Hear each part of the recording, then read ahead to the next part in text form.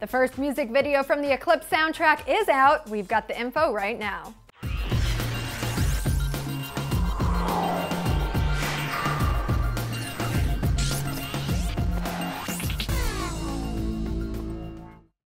Hi guys, you're back at Clevver TV. I'm Dana Ward, and today we're talking about the new music video from Muse. It's the first vid for the Eclipse soundtrack, and it's for their track called Neutron Star Collision Love is Forever. There's some sweet silhouette work of the leadman and the rest of the group performing with a changing red, white, and blue light. It wouldn't be an official soundtrack music video without movie clips though.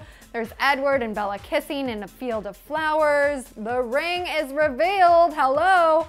Lots of embracing until, uh-oh, there's a bit of confusion and jealousy with shots of Jacob getting close to Bella. But the Volturi are ready to rev up the drama.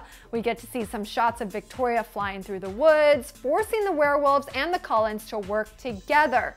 It's kind of like a mini movie, I'd say.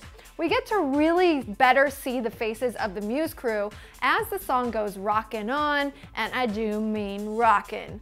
The video wraps up with the same piano playing lead men shot from the beginning as the music slows and there's definitely more Edward and Bella romance.